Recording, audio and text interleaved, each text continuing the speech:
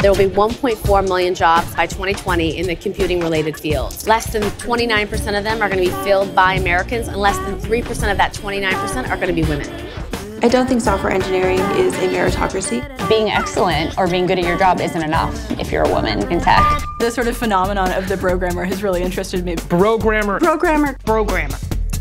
It's hard to encourage more women to come into an environment that will sexually harass them and not fund them. As soon as a woman gets introduced, it's like blood in the water. When companies started putting these full diversity disclosure reports out there, it became very obvious, wow, there really is a problem this is something that we need to be trying to address.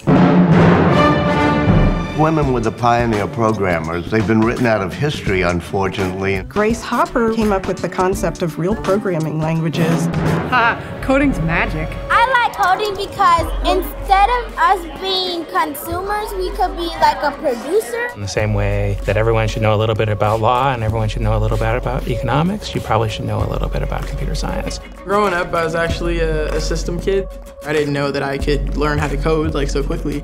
The reason that there's a gap is actually related to some really real structural factors. Girls aren't encouraged to pursue computer science. They're overlooked because, you know, it's the boys that are good at science and it's the boys that are taking apart computers at age nine. Most students have no exposure to programming. Computer science should be a requirement in all public schools. This is a Rosie the Riveter moment because the jobs are here and we don't have the workers to fill them.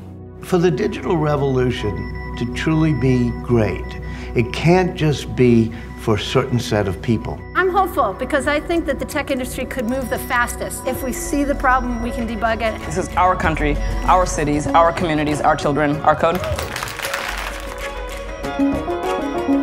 Code. Debugging the gender gap.